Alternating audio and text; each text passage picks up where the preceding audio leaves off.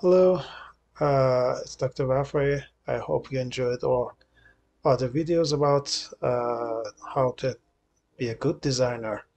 And today we are going to demonstrate a case with uh, complicated abutments. And uh, we need custom abutment. Uh, you should you should be know that uh, the custom abutment is not key to every problem in prosthodontics, especially in implant. But it can be helpful in case that we have uh, different paths of insertion, implants uh, put it in uh, not proper position. Okay, and we are going to choose uh, abutment crown, zirconia, 5 axis, custom abutment, titanium, and scan body, uh, because we have a scan body. Separately design virtual gingiva. Yes, after this video we will show you how to design superstructure on abutment that you customized. And before you uh, get the abutment from the laboratory, you can design the crowns so the crowns be printed or milled and while the uh, other parts are uh, especially temporary are getting ready. Okay. I take the control and 31 and 42 and we have Pontic over here another Pontic and design visual by yes color A1 okay and it uh, included the other jaw okay this is the bridge okay I will save it and I'm going to design. At the design part we need uh, three scans lower scan lower abutment scan uh, or a scan body and we need uh, aperture as uh, or other scan. Okay let's go for OneDrive. Yeah you can find the files for this demo. Uh, I will uh, put the links to download and you can download them. Okay, an larger, okay. And we have scan markers and we need aperture. Okay. Good. I'm going to uh, run the articulator because in many times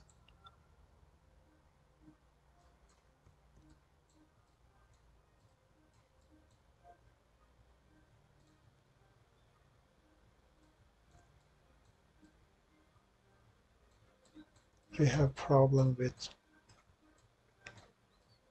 software and they show us wrong uh, position. I think we have this problem here, so I should go back, put like this. I hope it works. Fingers crossed.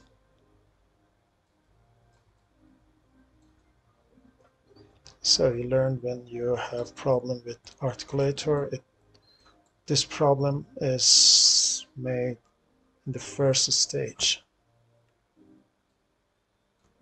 Okay, it's far better. Okay, let's see whether it's working. And yes, it's working. Thanks, Thankfully, because uh, I have same problem with other cases, and after many times I uh, recognize that uh, you should do everything in proper order. And in case that you miss one step or say, okay, I will do it uh, later. No, you can't do it later. You should uh, not skip uh, error in every stage and you should do everything meticulously at proper time. Okay, oh my gosh. Look here, look what I found still not seated. Yes. Look, this is perfect seat. Why uh, I insist on being meticulous in this part because when you design like this the abutment is not uh, sitting properly.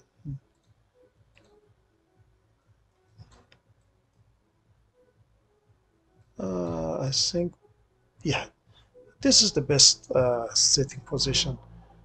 And it shows that you have a perfect match. Uh, I think I did something wrong. Let's try it again. Ah yeah this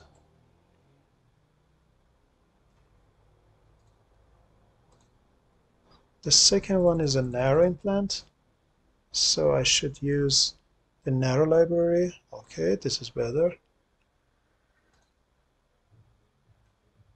And for the third one it's regular. I do the best fit and also I have the same problem. See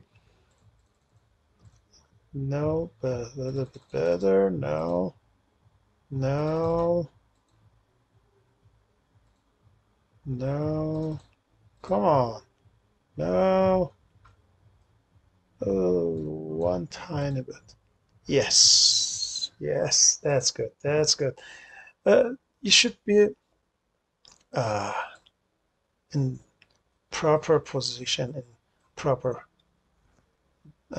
because in case that you uh, give the landmark mark and other than ideal position you will be in deep trouble. Okay the first emergence profile. Let's go the emergence profile can be marked with four points but I use six or seven most of the time. It's give me the better results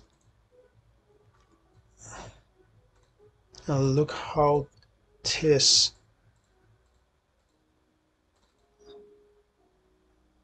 encouraged the bone okay withdraw the emergence profile and now we should uh, put the teeth in proper position.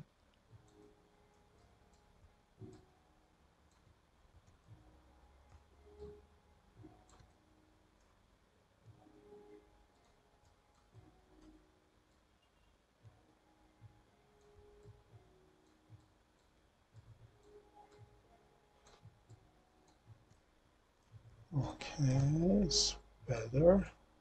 Good, good, good, good, good. A little bit more.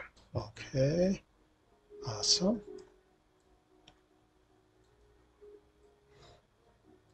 Sometimes you need to do it individually